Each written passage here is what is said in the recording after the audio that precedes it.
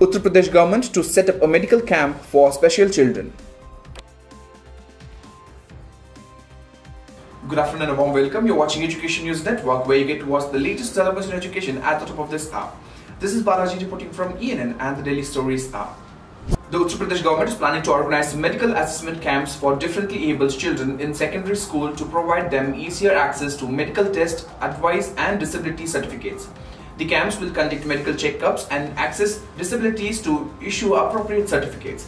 The instructions have been issued by the State Project Director to the District Basic Education Officer for the camp. Each district will determine the venue and dates by June 30th with the aim of completing the camp by August 30th, said a government spokesperson. State Project Director Vijay Kiran Anand said that an orthopedic surgeon, an ENT surgeon, an eye specialist, and physiologist and physiotherapist would be included in the team of doctors for the camp. However, in the case where audiologists and physiologists are not available, it is important to reach out to the Chief Medical Officer or District Magistrate Additional Director Health and Indian Medical Association or National Institute for Empowerment of Intellectual Disabilities and Ali Yavar Jung National Institute for Speech and Hearing Disabilities, Mumbai.